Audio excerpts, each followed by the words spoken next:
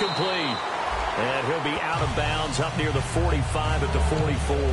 First down coming there on the intermediate passing play. That's been a point of emphasis, they told us in practice, using those medium routes to keep the defense off balance. And it wasn't just them telling us. We got to watch them practice it and work on it because they've been trying to fine-tune it and get it right before this game. And I think they have to be happy with the result. That throw good for four. It's second down. And they're going to speed things up here. To the air again with Bradford. Over the middle, it's Thomas. And he's brought down.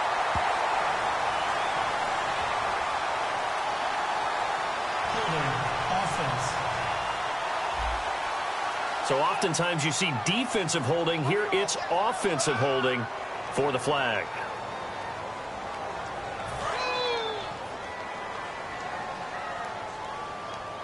Thomas, the lone receiver left. They'll throw again. Bradford. And incomplete. C.J. Anderson, the intended target. And it's third down.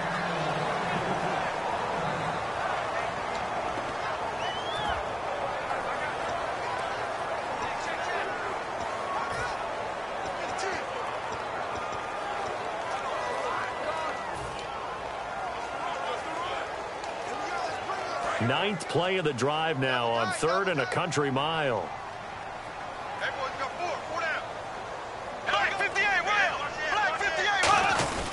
They give it to Anderson.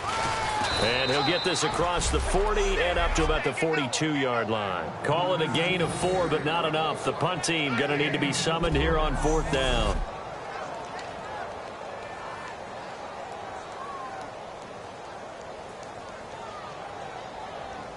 Here's Riley Dixon now as he'll punt it away for the second time.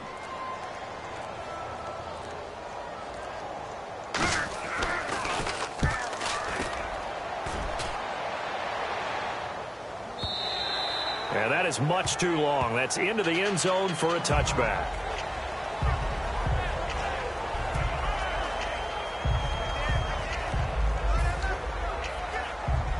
Seattle now ready to march out of the field. And the ball backed way up, so thinking with this amount of time on the clock, probably just sit on it, and we'll see these two teams go to the lockers. Yeah, I don't think you want to overthink it in this situation, either side of the ball. Just go ahead and finish up the half and get on out and talk about it.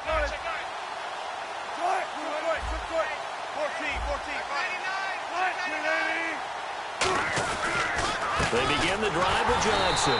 And he will fight his way forward to about the 23-yard line. Now whistles come in. We're going to get a timeout here by the offense. And with halftime on the horizon, they'll be out of timeouts from here forward.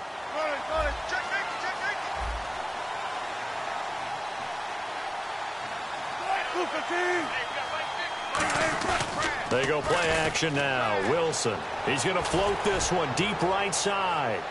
And that is incomplete. 16 seconds now on the clock. And when all else fails as a defender, when you're not there in the coverage, your best friend is exactly what we saw there. A big play shot taken by the offense. Unfortunately, it ended in a big drop.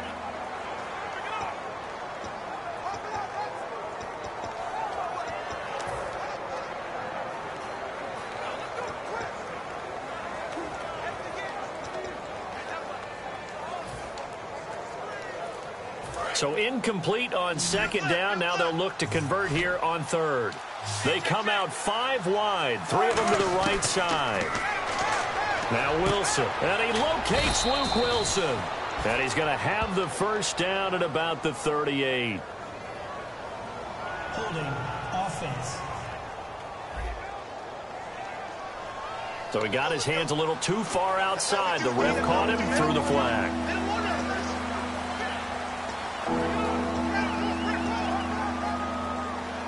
And the yellow flag hurts this offense, and now they face a tough third down.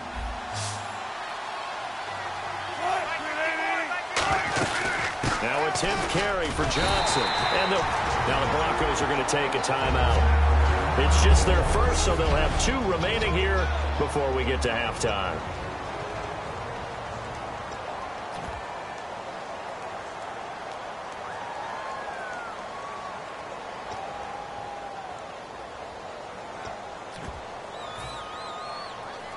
So on fourth down, here's the Canadian-born punter Jon Ryan to kick it away for Seattle. Emmanuel Sanders deep for the Broncos. And here's a very low line drive, almost whiffed on it. And this will be down just on the other side of midfield.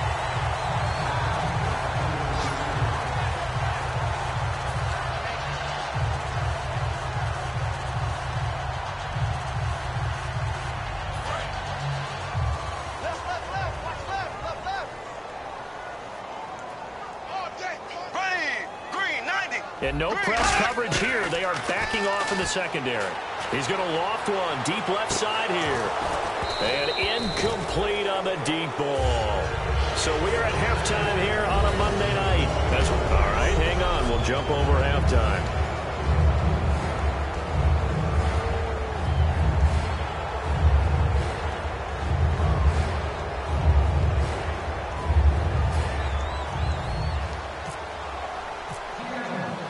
Teams appear ready for the fight ahead, and we resume action here in quarter number three. This will be taken in at the one.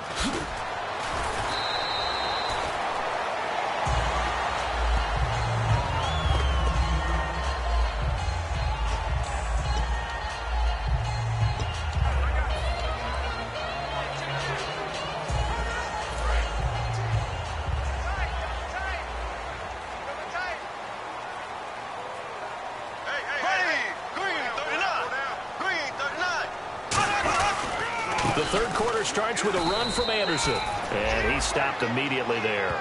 No gain on the play there. Second down. No gain on that run, and while the team is down, there's still time to come back and win the football game. If I'm the offensive coordinator, though, I've got to think about moving at a faster pace and maybe opening things up a little bit and throwing it a little bit more.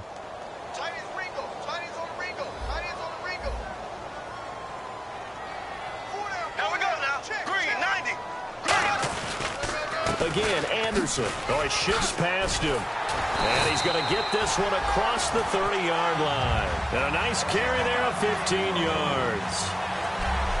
Sometimes it's hard to believe, but there are times this game is about patience, isn't it? Has had the game he expected, but that run there, that may get him going. I was just going to say, maybe that gives him a little juice. Because you're right, he struggled, especially in that first half. Yeah, and I know the great ones always think to themselves, just hang in there. I'm just one big carry away from busting this open. That's a good start for him. Face mask. Defense. And a big face mask penalty here, 15 yards. You never want to get your hands up in the face mask area because your fingers can get tangled up there, and that can hurt you as a player.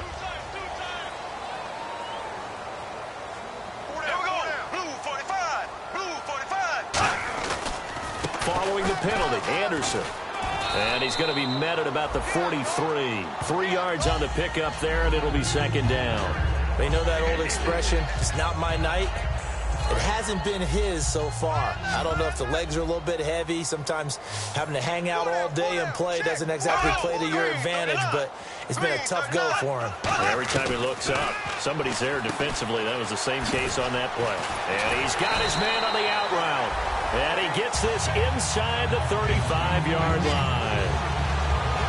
But that's what you're looking for when you want to throw the ball downfield. You want one of those guys who can play out on the perimeter, can play out wide, who can not only get open, but when they're covered, can uncover themselves downfield and create catches.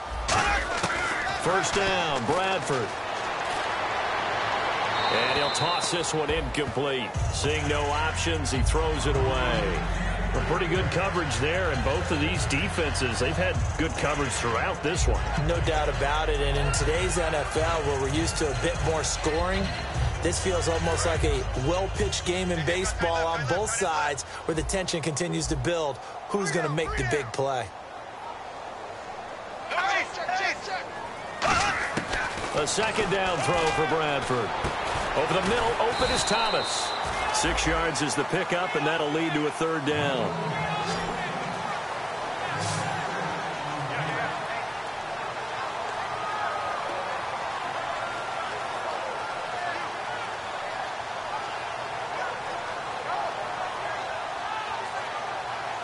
So completion on second down, that brings up third.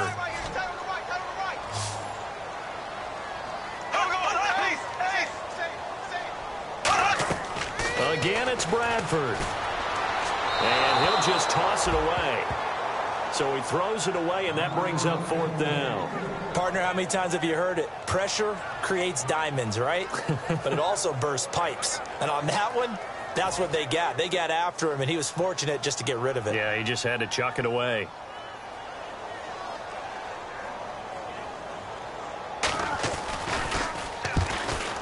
And McManus able to put it through. And they get themselves on the board here. It's 10 to 3. So it goes down as an eight-play drive, and they cap it with the field goal. Yeah, they were able to pick up a few first downs along the way, but they couldn't keep the momentum going all the way into the end zone. After splitting the uprights, McManus to kick it away. That's fielded in the end zone. Spinning past him.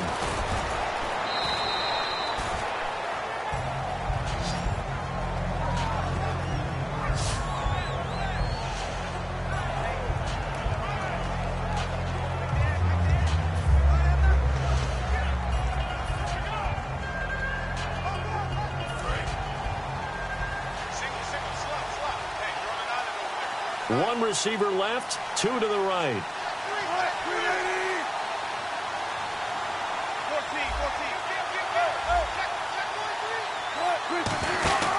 They'll try to get the offense going with Johnson. And room to run as he's up past the 35-yard line. A solid run on first down. Gain of seven leaves him with a second and three.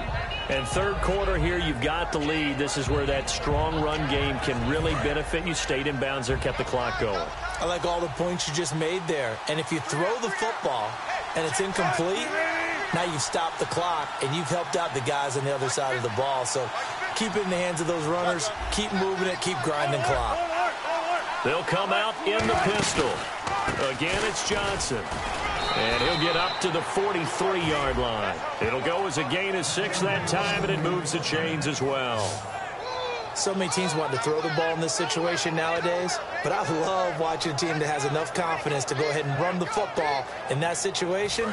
That's almost a tendency breaker. So it'll be first down here after the run.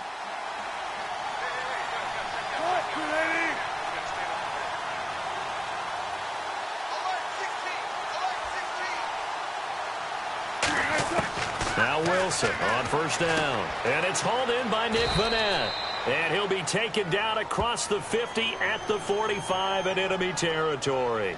Holding offense. So holding by the offense and maybe now got to shift up what you want to do on the playbook. Yeah, definitely. Change what you're doing in the playbook, but boy, the advantage shifts to the guys on defense, doesn't it? Longer yardage situations, they often become bolder.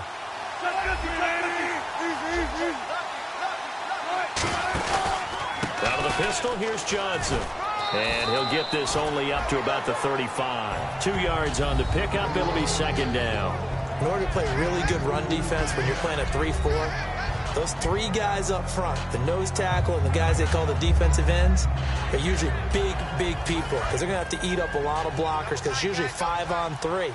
And when they do their job well, guys who play on the inside, those inside linebackers, they're able to just roam and hit. Play action. Now Wilson. And to the left side here, Wilson. And he'll go down right around the 47 this time. We are through three quarters here on NFL Kickoff Weekend. We'll return with more after this. This is the NFL, and it's on EA Sports.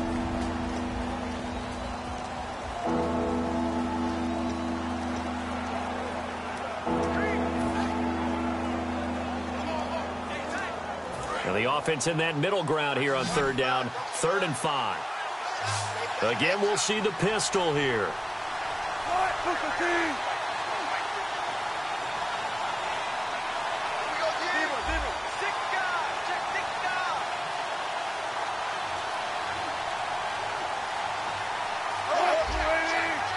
Play clock winding down.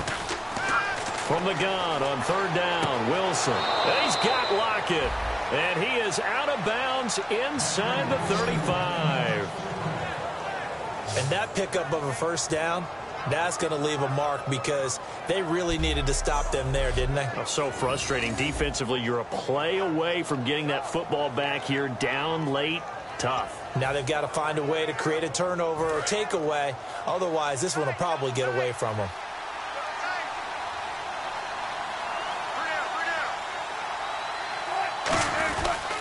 They go back to the ground with Johnson.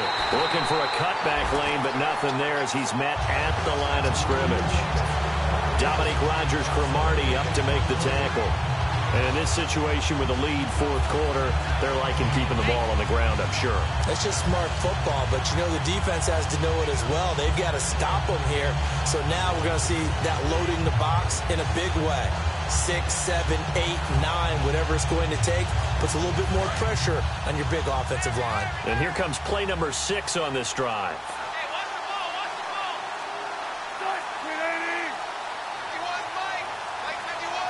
They'll need to get the play off quickly.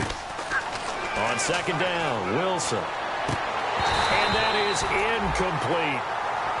We know it's not an easy job to go out and catch passes when people are trying to tackle you and knock the ball away. But the bottom line is that's a pass he's got to have and a pass he should have caught.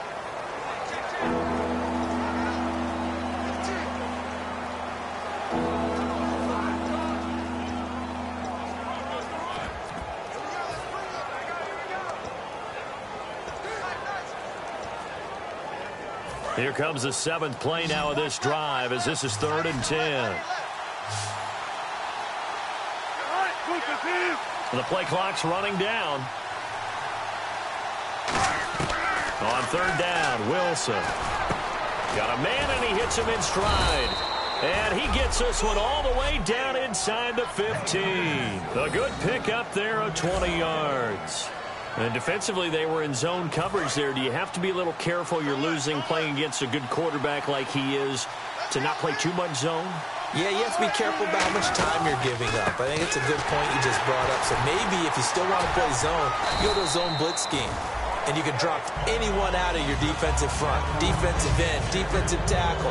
It doesn't matter. You just exchange someone to bring more pressure towards the quarterback and still try and cover downfield.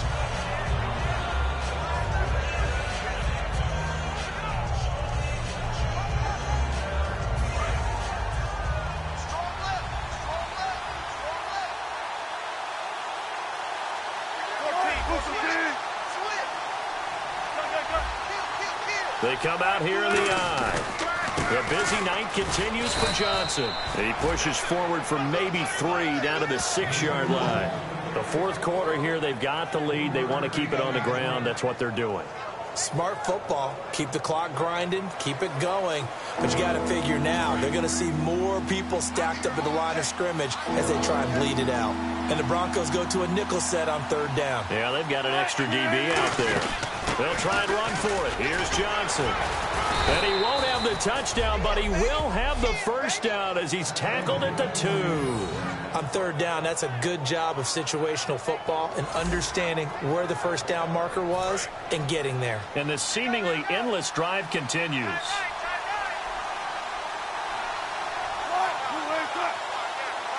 From the two-yard line now, it's first and goal. This is Prosise on the carry. That's going to go as a loss of a yard, and it'll be second down. Time for a break. We're back to see what happens after this.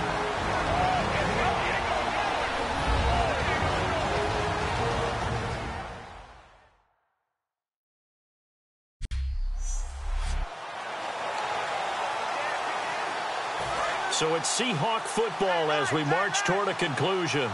And let's see what they've come up with offensively after having time to talk it over. They'll run it with Johnson. And he's going to get this back to the three-yard line and no further. Now the Broncos are going to take a timeout. It's just their first. They've got two more to use here in the final stages.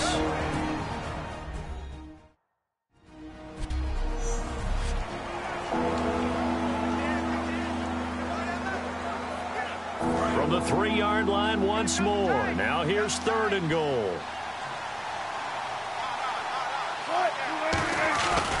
They'll try to run it in. Johnson. And he gets And now the Broncos will burn another timeout here. That'll be their second, so one more chance to stop the clock here. And we'll be back.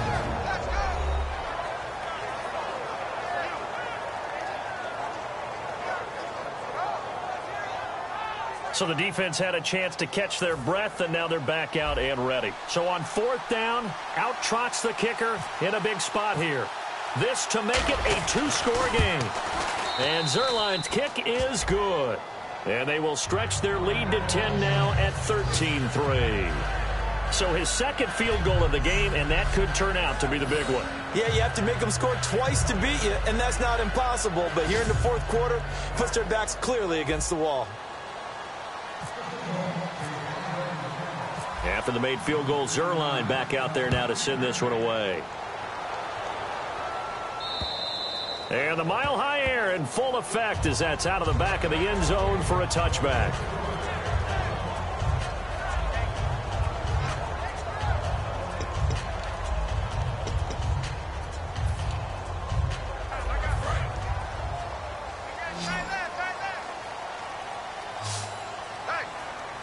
On the outside, they're playing press coverage.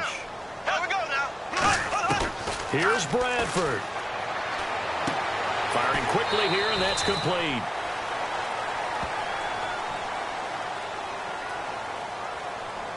Holding offense. So there you go, holding by the offense, and that'll push them back.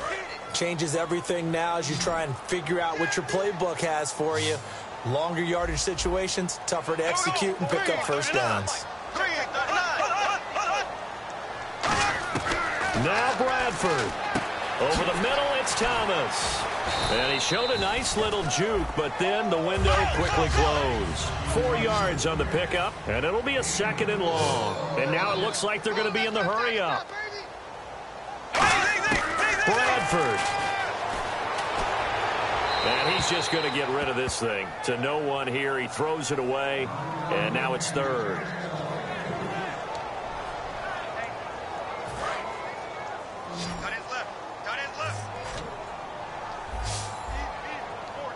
In the backfield is Anderson. Bradford to throw. And this is intercepted, and that should do it. It's Desmond Trufant, and his guys are going to take over at the 39-yard line. Obviously disappointing, but you had to go for broke here, down two scores. So that forced you to make some throws you definitely wouldn't want to make. And I think this interception is going to pretty much write an end to this one.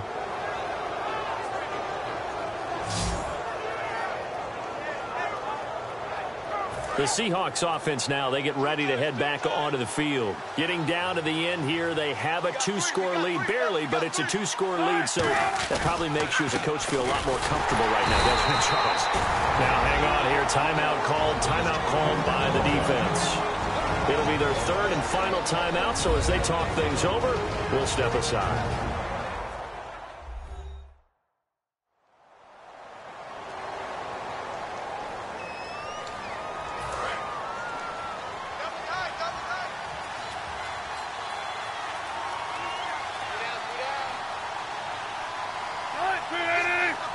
The Seahawks in victory formation as they go ahead and take the knee.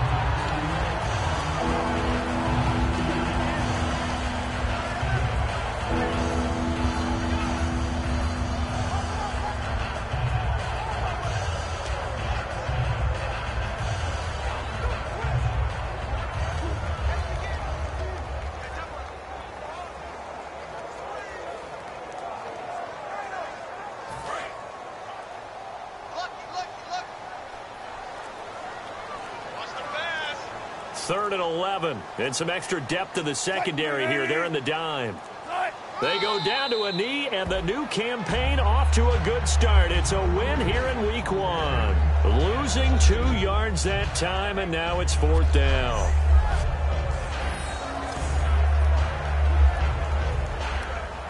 So on fourth down, out trots the kicker in a big spot here.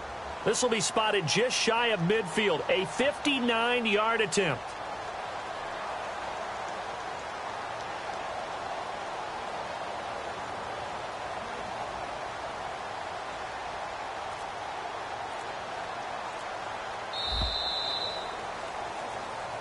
Partner, this first week, this first game that we get to call together, so special every year, week one. You had the flyover, the big American flag out there before the game, all the hoopla, just having football back, so special.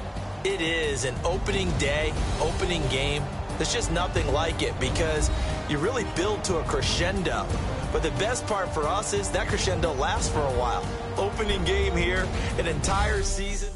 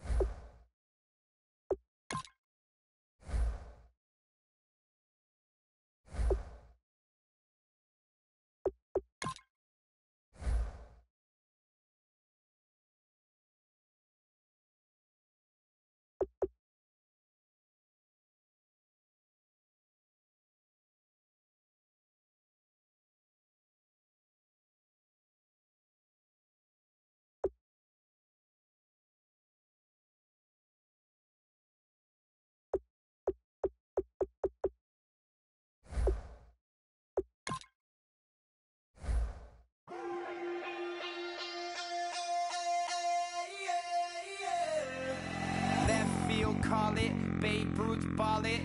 Your boyfriend's got a cauliflower, and I'm a. So sue me. Who you, Judge Judy? Stacking the rubies. If life was a movie, then you could just call me the Goonies. You're not relevant. Trolling on the internet. No respect. Haven't moved out of your parents' basement yet. Big neck. Coming with the beat that's gonna break your neck.